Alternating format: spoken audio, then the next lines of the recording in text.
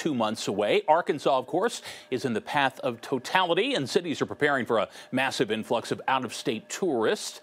Channel 7's Andrew Mobley spoke with North Little Rock City officials today about the best places to set up shop north of the river. Andrew. Like other cities in the path of totality, North Little Rock sees the eclipse as a great opportunity.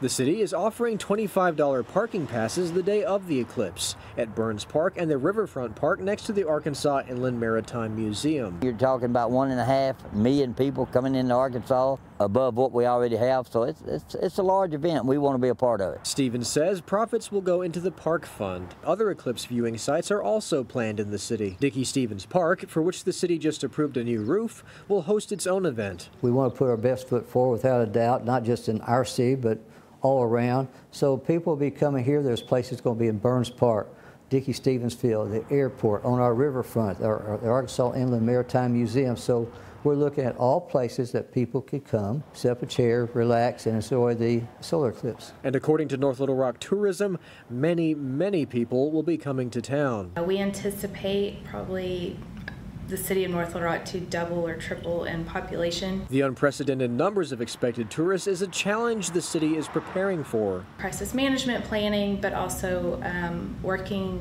with our partners and like our restaurants, our hotels. Long story short, the pressure is, is if you're not prepared. I think we're going to be very prepared, prepared for what we're going to do. And we've been talking about this for even last year. With only two months left to go, the anticipation for the once-in-a-lifetime eclipse is palpable statewide. Never seen anything like this, though. Never seen. This is this is going to be very exciting, and uh, can't wait.